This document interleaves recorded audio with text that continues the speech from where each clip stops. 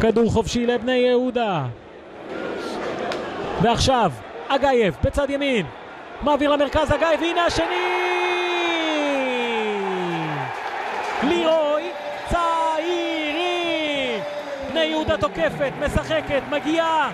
וכל פעם שהכדור הוא ברגליים של האיש הזה, אמיר אגייב מקבל כדור בצד ימין, והילד הזה פשוט שם את הכדור על הראש של לירוי צעירי, שמכניע את דרשלר ועושה 2-0 ענק לבני יהודה, וצעירי גם הולך ליציע כדי להגיד מזל טוב לאבא שלו.